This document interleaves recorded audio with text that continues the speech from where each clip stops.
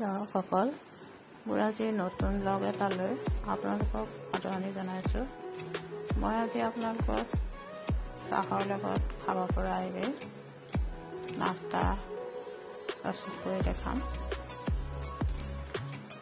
এই নাস্তাবিধ আপোনালোকে সাতদিনমানলৈকে ষ্ট'ৰ কৰি খাব পাৰিব। আহকচোন।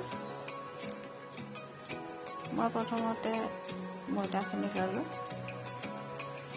মই দুকাপ লৈছোঁ তাৰ লগতে অলপ চব গুড়া কৰি দিছোঁ এইখিনিৰ লগতে মই এক চামুচ ঘি দিলোঁ ঘি দি এতিয়া প্ৰথমতে মই অলপ ভালকৈ সানি ল'ম এই সানাৰ সময়ত আমি কোনো ধৰণৰ পানী ব্যৱহাৰ নকৰোঁ। শুকানে যেতিয়া বস্তুখিনি মোহাৰি থাকিম তেতিয়া এটা সময়ত বস্তুখিনি ময়দাখিনি আমি এনেকৈ মুঠি মাৰিলে লাডু হৈ যায়। সেইটো আপুনি এনেকৈ হাতেৰে ধৰি ভাঙি দিলেহে ভাঙি যায়। তেতিয়া গম পাব আপোনাৰ এতিয়া পানী পানী দিয়া সময় এতিয়া আপুনি অলপ অলপকৈ পানী দি ময়দাখিনি খচিব। একেবাৰতে সৰহ পানী ঢালি দিব। এই পিঠাবিধৰ বাবে দৈটো অলপ টান হ'ব লাগে। যেতিয়া আপুনি ময়দাখিনি সনা হ'ব তেতিয়া এনেদৰে অলপ মিহি দি ময়দাখিনি সানি এতিয়া আমি অলপ দেৰি কাপোৰ এখন দি ঢাকি ৰেষ্টত ৰাখিম। এনেদৰে ৰাখিলে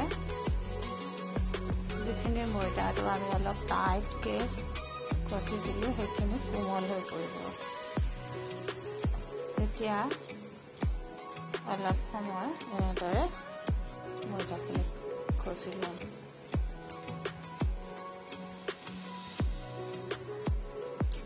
এতিয়া আপোনালোকে এনেদৰে সৰুকৈ বল কিছুমান বনাই ল'ব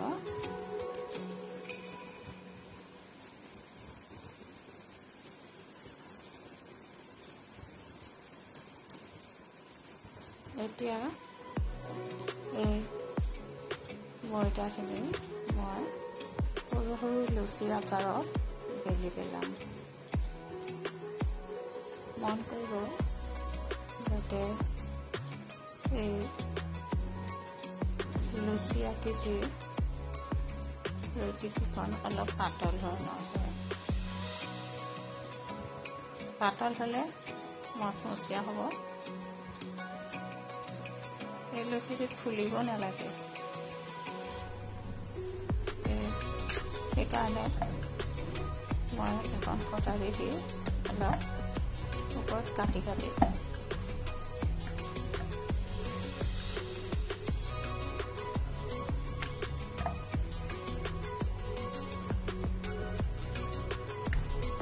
এনেদৰে গোটেইখিনি বল মই বেৰি লওঁ।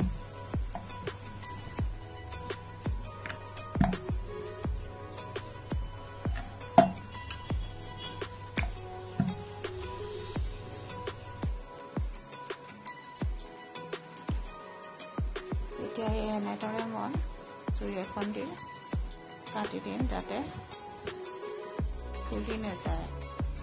ফুলিলে কেইবাদিনলৈকে মচমচীয়া হৈ নাথাকিব গতিকে ফুলিব নিদিওঁ। এয়া মই গোটেইখিনি বেলি ল'লোঁ। এতিয়া তেল গৰম কৰি এখন এখনকৈ এনেদৰে ফ্ৰাই কৰিম। অন কৰিব গেছৰ ফ্লেমটো মিডিয়ামটো ল'ত ৰাখিব। জুই দি এইবিধ নাস্তা আপোনালোকে প্ৰস্তুত কৰিব নোৱাৰিব কম জুইত লুটিয়াই লুটিয়াই ভাজিব লাগিব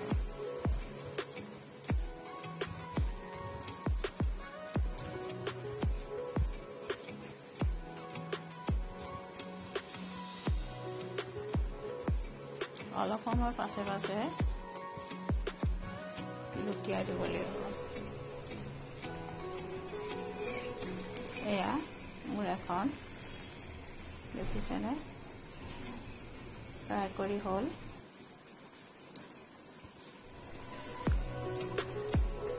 এনেদৰে মই গোটেইখিনি ফ্ৰাই কৰি ল'ম